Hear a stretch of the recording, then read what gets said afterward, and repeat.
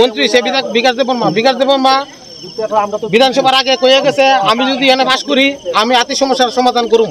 আমি কোনো কিছু রাখতাম না। কিন্তু পাস করছে আর কত দুই বছর তাহলে কোনো কিছু করল না। কয়েকদিন আগে তাহলে একটা কোনো কোনো যোগদান সভার মধ্যে ভাষণ দিছে। কইছে আতিরে তোমরা নিমন্ত্রণ করে আনো এলিগে না তোমরা আতি আইয়ে। এটা কি একটা কথা হইল? বন্য হাতির পদতলে পৃষ্ঠ হয়ে আবারও মৃত্যু এক ব্যক্তির। ঘটনাটি ঘটে রবিবার সন্ধ্যা আনুমানিক সাতটা নাগাদ তেলিয়ামুড়া থানাধীন মহারানী এলাকায়। ঘটনার খবর ছড়িয়ে পড়তেই চাঞ্চল্য গোটা এলাকা জুড়ে। এলাকাবাসীরা ক্ষুব্ধ হয়ে টিএসআর বাহিনী এবং বন দপ্তরের কর্মীদের উপর চড়া হয়।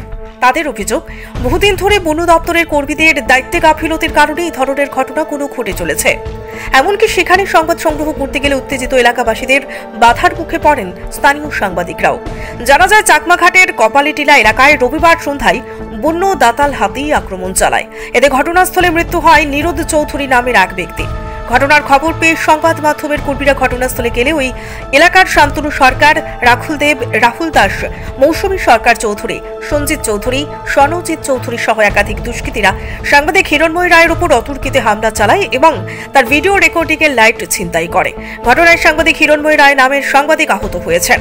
ঘটনার খবর পেয়ে সমস্ত সাংবাদিকরা ঘটনাস্থলে ছুটে আসে এবং এই বিষয়ে নামধাম জানিয়ে থানায় অভিযোগ দায়ের করেন তেলিয়াপুরা প্রেস ক্লাবের সাংবাদিকরা। Bureau report planet Tripura news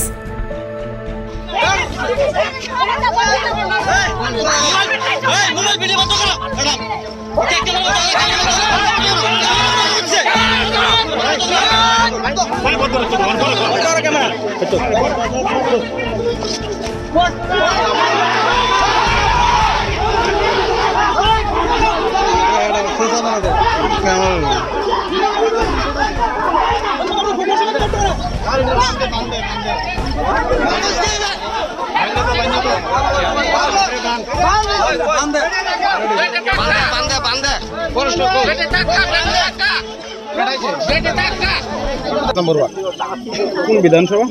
Krishnapur বিধানসভা মন্ত্রী, সে বিকাশ দেব মা বিকাশ দেব মা বিধানসভার আগে কয়ে গেছে, আমি যদি এখানে পাস করি, আমি আতি সমস্যার সমাধান করুম। আমি কোনো কিছু রাখতাম না। কিন্তু পাস করছে আর তো কত দুই বছর হয়েছে তাহলে কোনো কিছু করল না। কয়েকদিন আগে তাহলে একটা কোনো কোনো যোগদান সভার মধ্যে ভাষণ দিছে। কইছে আতিরে তোমরা নিমন্ত্রণ করে আনো এলিগে না তোমরা আতি আইয়ে। এটা কি একটা কথা হইল? তাই বাড়িতে ই রেল স্টেশনে বড় বড় লাইট লাগাই সামনের দিকে লাইট কো। এটা কোনো একটা লাইট নেই কারণটা কিতা? এটা নেই।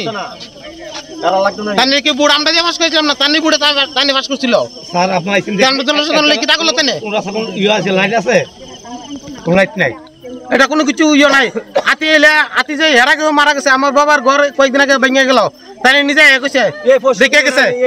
কোনো কিছু ইয়ে নাই। অন পর্যন্ত। তো? লাঠি লয়ে এখন ডিউটি গেলি লাঠি লিয়ে আমি আজ গাড়ি ফোন করছি দুই বছর দুই ঘণ্টা হয়েছে সমস্যা করে দুই ঘণ্টা হয়েছে ওর পর্যন্ত খবর নাই আইছে না। তাহলে হাতি আইতে পরে আমরা লাঠি দরকার আছে। না? আপনার নাম কি? আমার নাম রঞ্জন চৌধুরী। যে মারা গেছে আমার বাবা। এর দুঃখ বাবার দুঃখটা আসলে বুঝব একমাত্র, আর কেউ বুঝতো না।